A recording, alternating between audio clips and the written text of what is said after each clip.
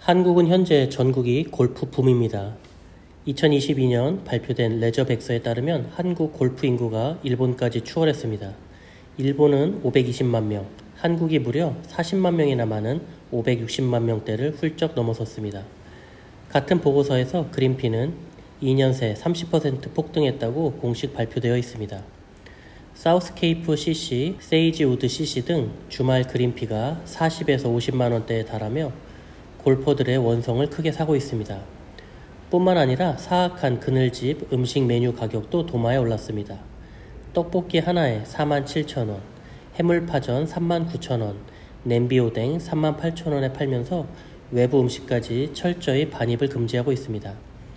문제는 비회원제 골프장들이 그 중심에 있어 폭리와 피해가 더 큽니다. 베트남 골프 여행이 주목받는 이유가 있습니다. 가격도 평일의 경우 그린피 10만원 초반이면 라운딩이 가능합니다.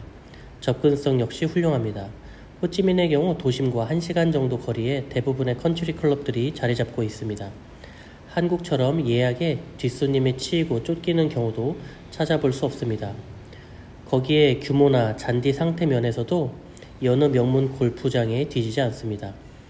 베트남의 공장을 운영 중인 한 기업인 김모 씨는 본지에서 베트남에서 평일 3번만 라운딩을 해도 황, 남해, 홍천, 대명 CC 등 한국 고급 골프장 주말 하루 라운딩 가격밖에 안 된다는 우스갯소리가 거래처에서 심심치 않게 나온다고 합니다. 한국의 기형적인 그린피 비용을 꼬집었습니다. 덧붙여 특히 호치민은 명문급 컨트리 클럽들이 도심 1시간 거리에 몰려 있습니다. 비즈니스 골프를 위한 사람들에게는 천국이라는 소리까지 나온다라고 자신 있는 의견을 내비쳤습니다. 한편 외신들에 따르면 일본의 유명 골프장들 역시 한국의 그린피의 절반 가격으로 알려져 있다고 합니다.